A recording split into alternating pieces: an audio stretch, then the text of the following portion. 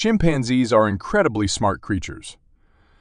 They can do tricky things like using sticks to get termites for food.